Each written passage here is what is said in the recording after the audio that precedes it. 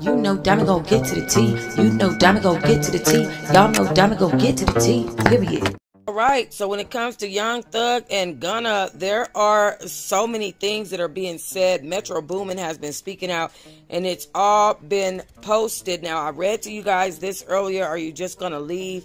Um, are you gonna leave him, Young Thug, like they did Tupac and all that stuff? What he said, but there was more to that statement, and I want to just read this to you. Metro Boomin goes on to say, YSL is not a gang, and it's never been a gang fool.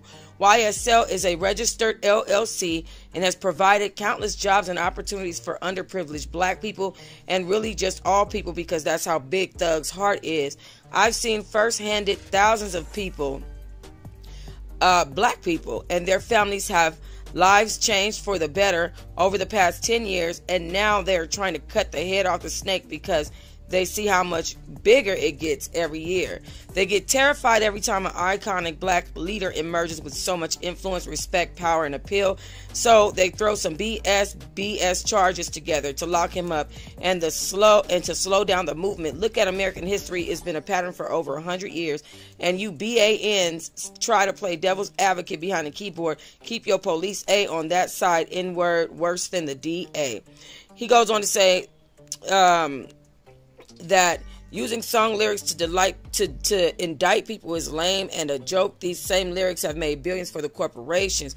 YSL is not a gang. We said that. He said uh, he's they're reposting stuff. He said they get terrified every time an iconic black leader emerges with, with so much influence, respect, power, and appeal. So they throw some BS charges together to lock him up and slow the movement down. Okay, we said that.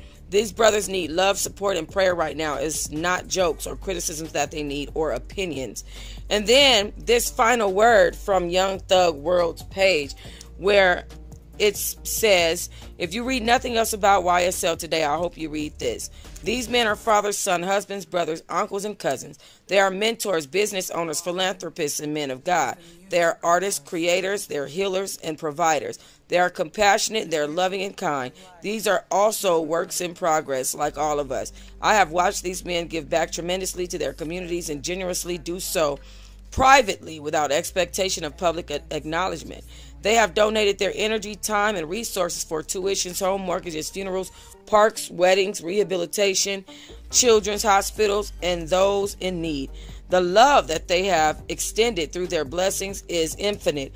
Understanding that understanding the life they come from only makes their business more special. How the media and the state of Georgia are choosing to portray YSL uh, or its origin is not reflective of the YSL I've grown to know and love. YSL is a label, a successful multi million dollar business, a brand, and a source of inspiration, a taxpayer, and above all else, a family free YSL.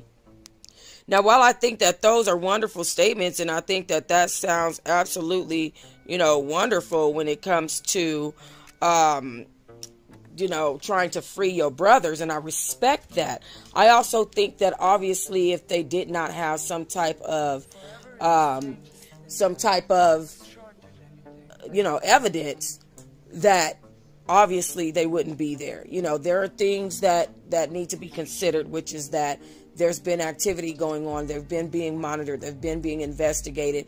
And, you know, there's things that that have happened to people surrounding them like deaths and people buying cars that people have passed away for and you know stuff like that so uh, or that people have passed away while they're using you know, there's there's firearms that have been used in the commissions of these crimes and, and have been found. You know, there was drugs and guns found in his home. Those things are illegal in Georgia. Weed is not legal like it is here there. So I'm just saying we have to be accountable for the things that we do do. And I think that this is one of those times.